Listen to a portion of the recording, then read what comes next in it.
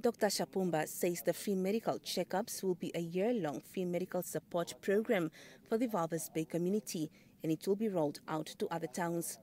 It aims to increase awareness about various health threats among disadvantaged communities.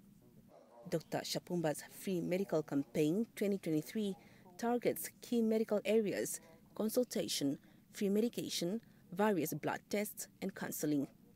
Those diagnosed with various chronic illnesses are referred to specialists for treatment.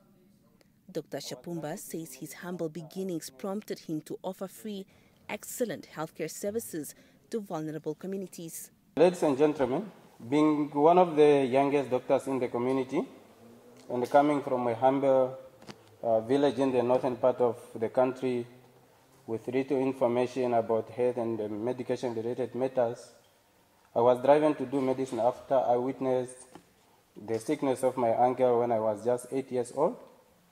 As nothing was done to help him due to lack of medical services in the community. Uh, coming up with this campaign is part of my social responsibility to give back uh, to the community. Speaking at the occasion was Mayor of Walvis Bay, Trevino Forbes.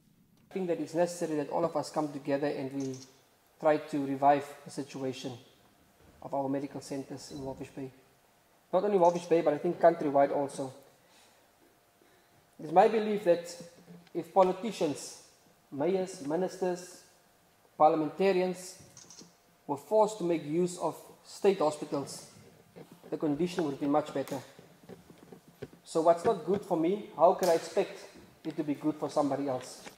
So far, 587 people have been tested, representing 382 females and 205 males. Tests that are done include HIV tests, hemoglobin, cholesterol, blood pressure, and pregnancy.